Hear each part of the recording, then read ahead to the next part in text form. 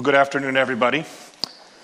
Always a danger going after a philosopher. Um, everything I say will not sound quite as elegant or as intellectual. Um, my name is uh, Robert Lytle I'm with EY Parthenon, obviously out of the United States. And I'm going to try to weave together a couple of the themes that we've heard today and maybe tie it also back to the role of private capital in all of this. I think we haven't had as much discussion about that today um, in the emerging competencies market. I've titled this Competencies, Technology, and Skills Delivery. We are at a digital conference, so makes sense to talk a little bit about technology. But um, a lot of this really goes down to basic elements of training people to be productive in the workforce. Um, and a lot of that hasn't changed all that much over the years.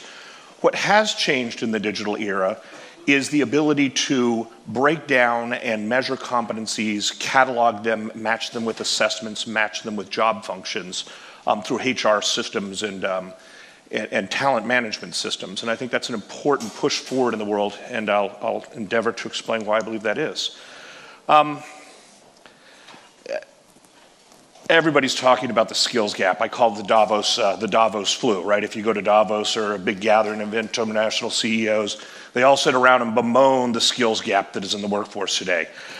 I take a bit of a skeptic's view of it. What I hear a lot is, I don't want to pay to do the training, therefore, I would like the university or the K 12 system or the government to train people on my behalf. Um, you know, the, uh, the analogy there is I would love a new Ferrari. I'd like to pay $10,000 for the new Ferrari. There seems to be a lack of supply at that price point.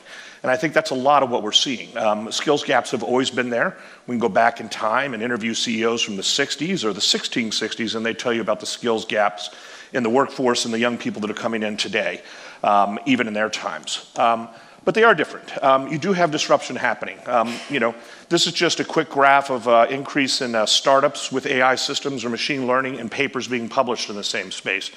Um, people under the robots coming, the robots are here.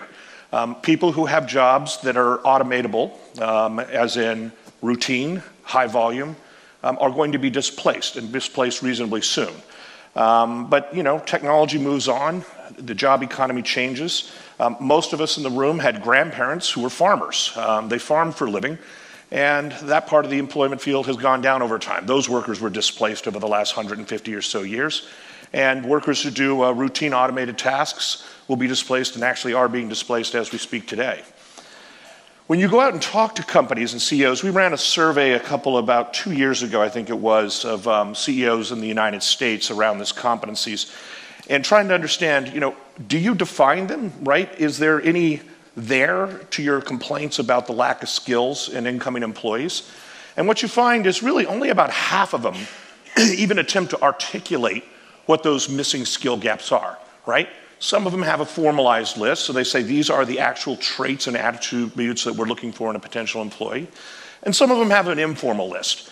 But half of them can't actually even articulate back to you what the skills gap is in concrete terms. Right? You get very vague things. They're not prepared for work. They don't communicate well. Those are too broad. We can't actually assess and evaluate and train people on broad platitudes like that.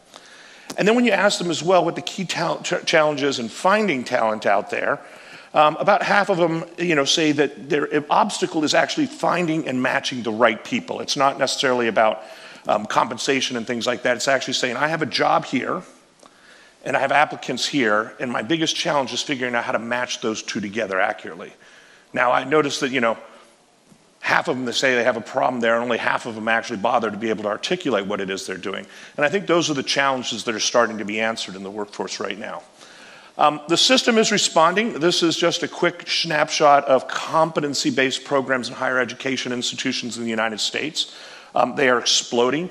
Um, if you dig into some of these, some of those are true competency based, some of them are eh, competency in name only. Um, but, you know, this movement towards an education in the primary, secondary, and tertiary education system that breaks down and addresses very specific attributes of learning, as opposed to I've taken an econ class or a math class or a chemistry class, is, make, is, is having momentum in the, work, in, the, um, in the landscape out there. What do we mean by competencies? I think these came up earlier. I think uh, the gentleman from Facebook was talking about, you know, yeah, we need technical skills, but I also need those cognitive and those social emotional skills, right? So having a coder who's very, very good at the latest coding, um, whatever that may be, Ruby, Red Rails, or HTML, is not useful if they actually don't have the thinking skills, right? The cognitive skills, and it's not helpful if they can't participate in the workforce as a productive employee, uh, have self awareness and relationship skills and things like that. So it's this combination of things. And what's really happened recently is the ability to get down and be very, very precise in competency maps around what those skills are has taken off. Um, there's a lot of research. Right now, you have a bunch of competing frameworks. So if you walk into the technology field, you'll have uh, competency, competency maps that are kind of attuned to the data analytics and the coding world. And if I walk into other areas, I have other ones. But they're starting to converge, and that convergence is very, very important because you have to have a language, right? An HTML, if you will, of talking about competencies in order for all the parts of the system to come together.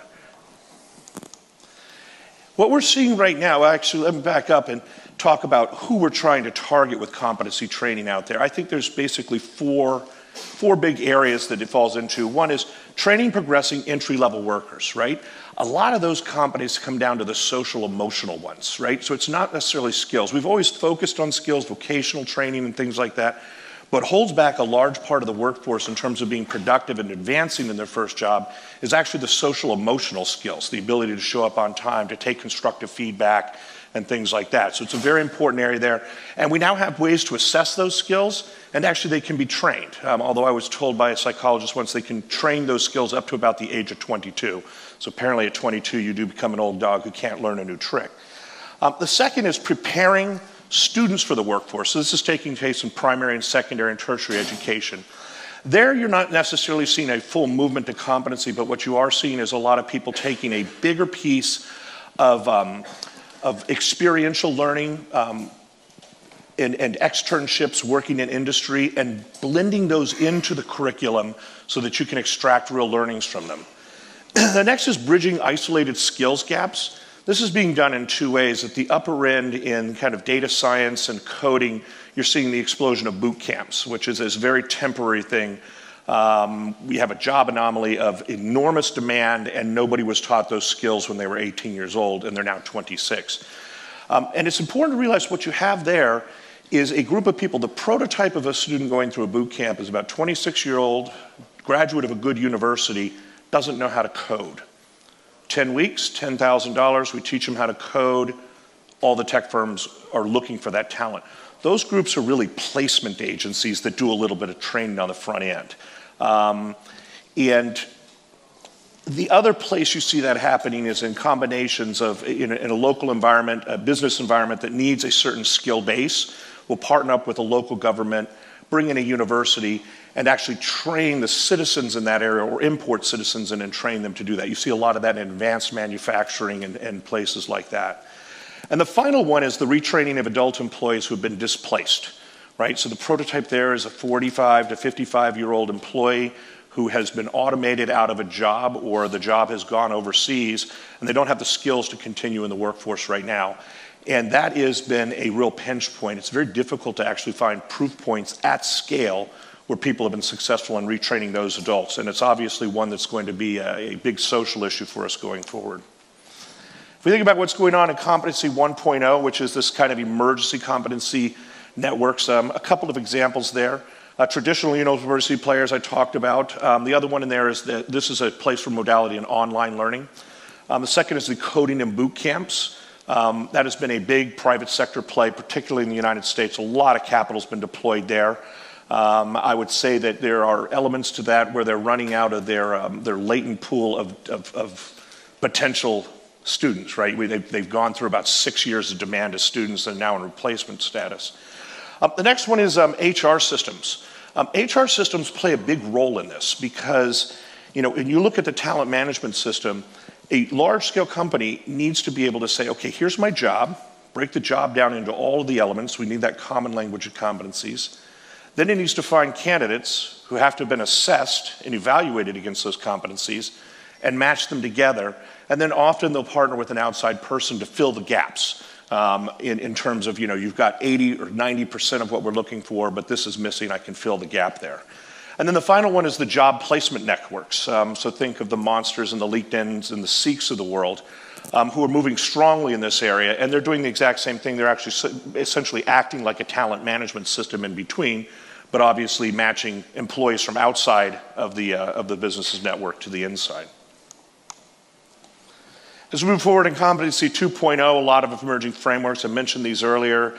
You've got the SFIA and the information and technology. You've got the framework for 21st century skills, which is probably the most advanced general kind of uh, education oriented uh, competency framework. But again, the terminologies between these and the way we assess them are starting to converge. And, and that's an important piece because ultimately the assessment companies have got to be involved in this as well. And then finally, it has to all come together. Employers have got to be in there, the HR systems have to be in there.